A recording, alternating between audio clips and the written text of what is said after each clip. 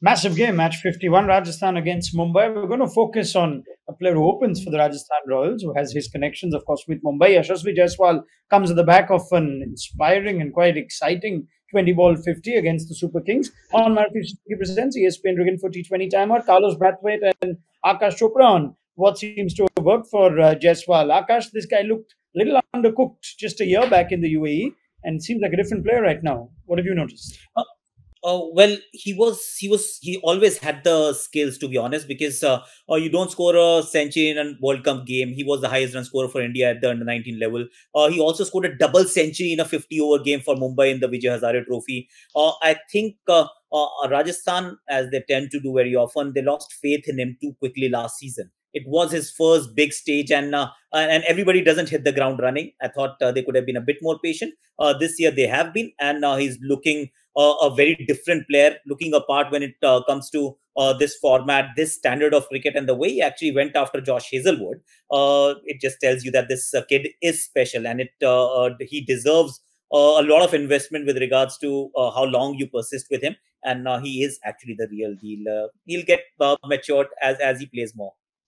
Yeah, as as Aakash points out, Carlos, he goes after the big boys as well, not just the Indian domestic bowler. Seems to have the shot, seems to have the game, and no mean feat to outstrike Evin Lewis as he did in the last game. Yeah, that was surprising for me. And the way he outgunned him um, with poise and with composure, not too many funky shots, just proper cricketing shots. Um, it was a pleasure to watch. But if you look at his first couple of games in India um, versus this UAE leg, one thing that jumps out at me is the strike rate. So it means there's a little bit more intent um, he's scoring a little quicker.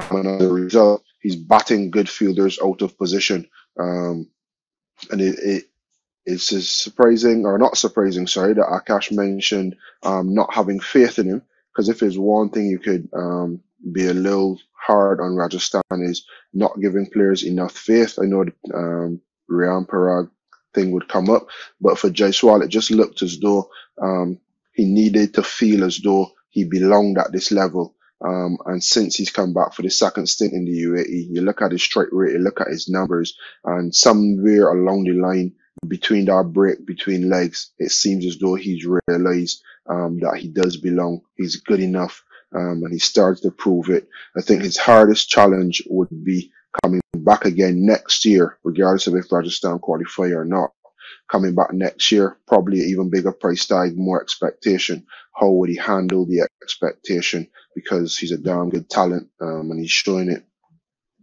Mm. All right, let's see if we can carry that form from Abu Dhabi to Sharjah. Probably more challenging looking at what we've seen this season. But thank you very much, Aakash Chopra and Carlos Brathwaite. That's what's worked for Yashasvi Jaiswal. He's come of age, and let's see if he can put in an innings in an important game against Mumbai. This was Maruti Suzuki Presents ESPNcricinfo T20 Timeout. We call it people technology.